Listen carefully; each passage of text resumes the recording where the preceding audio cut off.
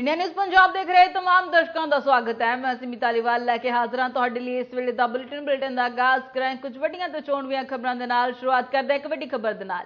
ਮਨੀਸ਼ਾ ਗੁਲਾਟੀ ਨੂੰ high court ਦੇ ਵੱਲੋਂ ਝਟਕਾ ਦਿੱਤਾ ਗਿਆ। ਹਾਈ ਕੋਰਟ ਨੇ ਮਨੀਸ਼ਾ ਦੀ ਪਟੀਸ਼ਨ ਨੂੰ ਖਾਰਿਜ ਕਰ ਦਿੱਤਾ ਹੈ।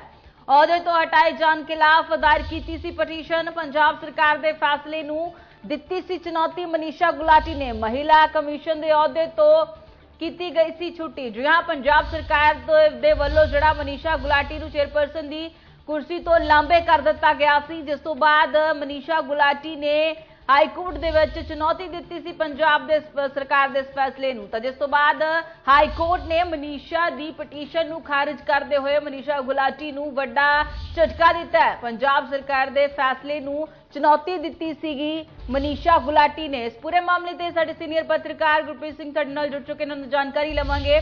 ਗੁਰਪ੍ਰੀਤ ਜੀ, ਜਿਹੜਾ ਇਹ ਮਾਮਲਾ ਹੈ ਮਨੀਸ਼ਾ ਗੁਲਾਟੀ ਦੇ ਵੱਲੋਂ ਹਾਈ ਕੋਰਟ ਹਾਈ ਕੋਰਟ ਦੇ ਵੱਲੋਂ ਮਨੀਸ਼ਾ ਗੁਲਾਟੀ ਨੂੰ ਵੱਡਾ ਝਟਕਾ ਦਿੱਤਾ ਗਿਆ। ਪੰਜਾਬ ਸਰਕਾਰ ਦੇ ਫੈਸਲੇ ਦੇ ਚੁਣੌਤੀ ਦਿੱਤੀ ਗਈ ਸੀ ਹਾਈ ਕੋਰਟ ਦੇ ਵੱਲੋਂ ਹਾਈ ਕੋਰਟ ਦੇ ਵਿੱਚ ਮਨੀਸ਼ਾ ਗੁਲਾਟੀ ਦੇ ਵੱਲੋਂ। ਕੀ ਕਹਿਣਾ ਚਾਹੋਗੇ? ਜੀ ਸਮੀ ਜੇ ਗੱਲ ਕੀਤੀ ਜਾਵੇ ਤਾਂ ਮਨੀਸ਼ਾ ਗੁਲਾਟੀ ਦੇ ਲਈ ਇੱਕ ਬਹੁਤ ਵੱਡਾ ਝਟਕਾ ਹੈ। ਹੁਣ ਉਹ ਪੰਜਾਬ ਮਹਿਲਾ ਕਮਿਸ਼ਨ ਦੀ ਚੇਅਰਪਰਸਨ ਦੇ ਅਹੁਦੇ ਤੋਂ ਆਫੀਸ਼ੀਅਲੀ ਤੌਰ ਤੇ ਕਹਿ ਦਈਏ ਕਿ ਉਹਨਾਂ ਨੇ ਜਿਹੜੀ ਚੁਣੌਤੀ ਦਿੱਤੀ ਆਫੀਸ਼ੀਅਲੀ ਤੌਰ ਤੇ ਉਹਨਾਂ ਨੂੰ ਹਟਾ ਦਿੱਤਾ ਗਿਆ।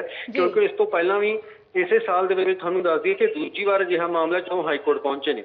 ਇਸ ਤੋਂ। ਪਹਿਲਾਂ ਉਹਨਾਂ ਨੇ ਜੋ ਹੈ ਜਦੋਂ ਉਹਨਾਂ ਨੂੰ ਹਟਾਇਆ ਗਿਆ ਸੀਗਾ ਸਾਲ ਦੀ ਸ਼ੁਰੂਆਤ ਦੇ ਵਿੱਚ ਹੀ ਤਾਂ ਮਨੀਸ਼ਾ ਗੁਲਾਟੀ ਨੇ ਜੋ ਹੈ ਇਸ ਨੂੰ ਹਾਈ ਕੋਰਟ ਦੇ ਵਿੱਚ ਚੁਣੌਤੀ ਦਿੱਤੀ ਸੀਗੀ। ਉਦੋਂ ਜੋ ਹੈ ਪੰਜਾਬ ਸਰਕਾਰ ਨੇ ਉਹਨਾਂ ਨੂੰ ਹਟਾਉਣ ਦਾ ਫੈਸਲਾ ਵਾਪਸ ਲੈ ਲਿਆ ਸੀਗਾ। ਉਸ ਤੋਂ ਬਾਅਦ ਦੁਬਾਰਾ ਫਿਰ ਜੋ ਹੈ ਕੁਝ ਦਿਨ ਬਾਅਦ ਪੰਜਾਬ ਸਰਕਾਰ ਦੇ ਵੱਲੋਂ ਦੀ ਇਹ ਨੋਟੀਫਿਕੇਸ਼ਨ ਜਾਰੀ ਕਰ ਦਿੱਤਾ ਗਿਆ ਕਿ ਮਨੀਸ਼ਾ ਗੁਲਾਟੀ ਨੂੰ ਉਹਨਾਂ ਦੇ ਅਹੁਦੇ ਤੋਂ ਹਟਾ ਦਿੱਤਾ ਗਿਆ ਦੁਬਾਰਾ ਮਨੀਸ਼ਾ ਗੁਲਾਟੀ ਜੋ ਨੇ ਉਹ ਹਾਈ ਕੋਰਟ ਦੇ ਵਿੱਚ ਪਹੁੰਚੇ। ਉਹਨਾਂ ਨੂੰ ਉਮੀਦ ਸੀਗੀ ਕਿ ਉਹਨਾਂ ਨੂੰ ਰਾਹਤ ਮਿਲੇਗੀ ਹਾਈ ਕੋਰਟ ਕੋਈ ਉਹਨਾਂ ਦੇ ਪੱਖ ਦੇ ਵਿੱਚ ਫੈਸਲਾ ਦੇਵੇਗਾ ਜਾਂ ਥੋੜੀ ਸਟੇ ਲਗਾ ਦੇਵੇਗਾ।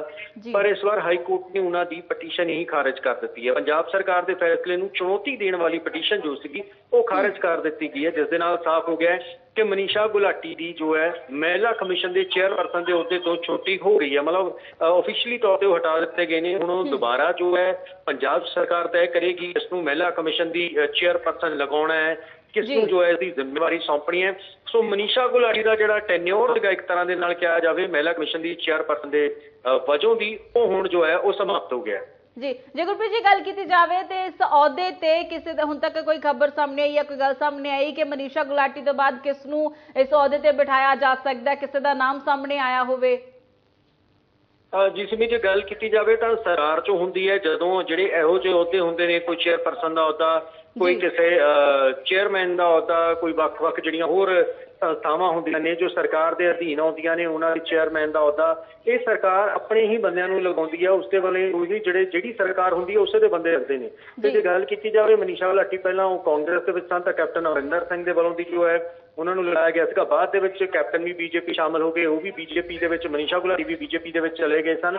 ਤੇ ਹੁਣ ਜੋ ਹੈ ਉਹਨਾਂ ਨੂੰ ਹਟਾ ਦਿੱਤਾ ਗਿਆ। ਤੇ ਹੁਣ ਆਉਣ ਵਾਲੇ ਦਿਨਾਂ ਦੇ ਵਿੱਚ ਜਾਂ ਮੰਨ ਲਈਏ ਕਿ ਇੱਕ ਦੋ ਦਿਨਾਂ ਦੇ ਵਿੱਚ ਇਹ ਸਾਫ਼ ਹੋ ਜਾਏਗਾ ਕਿ ਆਖਰ ਜੋ ਹੈ ਪੰਜਾਬ ਸਰਕਾਰ ਕਿਸ ਨੂੰ ਇਸ ਅਹੁਦੇ ਦੇ ਲਈ ਨਾਮਜ਼ਦ ਕਰੀ ਹੈ? ਕਿਹੜਾ ਉਹ ਚਿਹਰਾ ਹੈ ਜਿਹੜਾ ਹੁਣ ਪੰਜਾਬ ਦੇ ਵਿੱਚ ਮਹਿਲਾ ਕਮਿਸ਼ਨ ਦੇ ਚੇਅਰਪਰਸਨ ਦਾ ਅਹੁਦਾ ਜਿਹੜਾ ਉਹ ਸੰਭਾਲੇਗਾ? ਕਿਉਂਕਿ ਕਾਫੀ ਅਹਿਮ ਅਹੁਦਾ ਹੈਗਾ।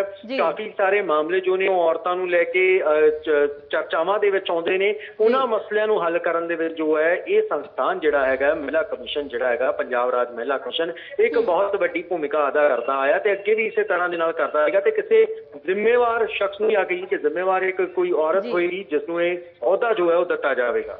ਜੀ, ਬਹੁਤ ਬਹੁਤ ਸ਼ੁਕਰੀਆ ਗੁਰਪ੍ਰੀਤ ਜੀ ਜਾਣਕਾਰੀ ਦੇਣ ਦੇ ਲਈ। ਤਾਂ ਆਉਣ ਵਾਲੇ ਸਮੇਂ ਦੇ ਵਿੱਚ ਇਹ ਅਹੁਦਾ ਕਿਸ ਨੂੰ ਦਿੱਤਾ ਜਾਵੇਗਾ, ਇਹ ਜਿਹੜਾ ਪੰਜਾਬ ਸਰਕਾਰ ਦੇ ਵੱਲੋਂ ਫੈਸਲਾ ਲਿਆ ਜਾਵੇਗਾ। ਪਰ ਪੰਜਾਬ ਸਰਕਾਰ ਦੇ ਫੈਸਲੇ ਨੂੰ ਮਨੀਸ਼ਾ ਗੁਲਾਟੀ ਨੇ ਹਾਈ ਕੋਰਟ ਦੇ ਵਿੱਚ ਚੁਣੌਤੀ ਦਿੱਤੀ ਸੀ। ਤਾਂ ਜਿਸ ਦੀ ਪਟੀਸ਼ਨ ਜਿਹੜੀ ਆ ਖਾਰਜ ਕਰ ਦਿੱਤੀ ਗਈ ਆ। ਹਾਈ ਕੋਰਟ ਦੇ ਵੱਲੋਂ ਜਿਹੜਾ ਆ ਵੱਡਾ ਝਟਕਾ ਮਨੀਸ਼ਾ ਗੁਲਾਟੀ ਨੂੰ ਦਿੱਤਾ ਗਿਆ।